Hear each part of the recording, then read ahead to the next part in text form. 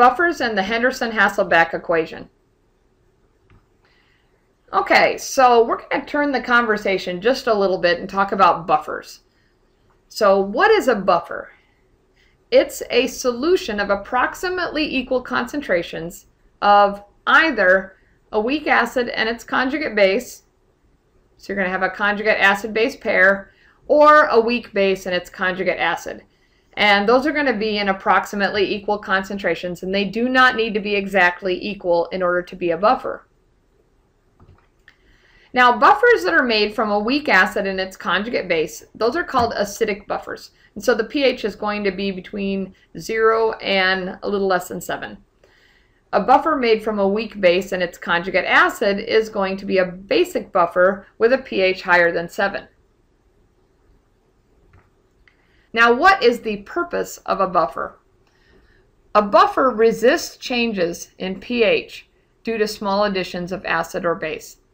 And so we set up a buffer so that when there are small additions of either acid or base, the pH doesn't change very much. Now, the easiest way to calculate the pH of a buffer solution is to use the Henderson-Hasselbalch equation. And that's this guy right here. Okay, you may see another form of it where the log term is subtracted and these two are inverted. But we're going to stick with this version of the Henderson-Hasselbalch equation. And so what does everything mean in here? So here's the pH of your buffer. Here's the pKa of the acid used to make the buffer. So even if it's a basic buffer, you're still going to use the acid form and use the pKa. And then you're going to add on this log term where you've inserted the concentration of the conjugate base and the concentration of the weak acid. And remember, those are going to be approximately equal. And so basically, we're always going to use this equation for acidic and basic buffers. So it doesn't matter which one it is, you're always going to use the pKa for the conjugate acid-base pair.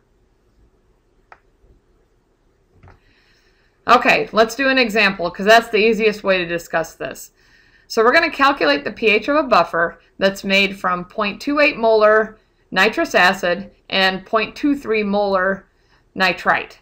So notice this is a conjugate acid-base pair and the concentrations are approximately equal. The Ka for nitrous acid is 4.6 times 10 to the negative 4. Okay, so the first thing that we're going to do is calculate the pKa for the acid. So remember, just take the negative log of the Ka, and you're going to get the pKa, which is going to be 3.34. Next, we're going to plug in the concentrations of our acid and conjugate base. And so if we go up here, and we find 0.28 molar nitrous acid. Let's go ahead and plug that in for HA. And 0.23 molar for nitrite. Plug that in. And when we do the math, 3.34 plus this log term, we're going to get 3.25. So that is the pH of our buffer.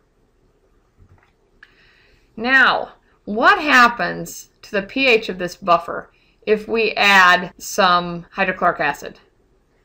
And so what we're going to do is add the acid, see what happens to the concentrations of each of these two species, and then we're going to use the Henderson-Hasselbalch equation again to get the pH after this addition of hydrochloric acid. And we're going to add 0.05 molar HCl. Now, one thing very important to keep in mind is that hydrochloric acid is a strong acid. So that means it's going to react completely and immediately with the conjugate base to form weak acid. So this proton is just going to be donated in equal concentrations. So for every one of these, you're going to make one of these. All right. So you are going to convert nitrite to nitrous acid after this addition of hydrochloric acid. Now, since we added 0.05 molar hydrochloric acid, then that means 0.05 molar of the conjugate base is going to be used up. It's going to react with that hydrochloric acid. It's going to accept that proton, and it's going to form an additional 0.05 molar of the weak acid nitrous acid. So we can show that in the Henderson-Hasselbalch equation by, here's our base form. So we started with 0.23 molar, and we used up 0.05 molar of it. So we get 0.18 molar.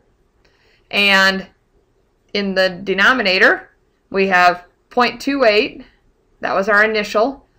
We gained an extra 0.05, and so that's going to give us 0.33 and when we do the math, and 3.34 plus this log term, log of 0.18 divided by 0.33, we're going to get 3.08. And the pH of our original buffer was 3.25. This buffer resisted a pH change due to the addition of acid. Now we can see that it changed a little bit, but in order to really appreciate the fact that it didn't change very much, even though it changed a little bit, let's compare it to adding strong acid to pure water. So if we take our 0.05 molar hydrochloric acid solution, we learned that the concentration of hydronium in solution is 0.05 molar. So hydrochloric acid reacts completely. So if we have 0.05 molar hydrochloric acid, the concentration of hydronium for this strong acid is 0.05 molar, and there's essentially none of the strong acid left. So if we plug that into our equation, negative log of 0.05 molar, we get a pH of 1.30. So if you have pure water and you add strong acid to the concentration of 0.05 molar, then that is a very large pH change. We went from 7 to 1.3 just with that small amount of hydrochloric acid, where our buffer resisted a, a, large pH change. It went from 3.25 to 3.08, which is a very small change compared to pure water. Okay, so example problems for the acid-base chapter will be posted separately.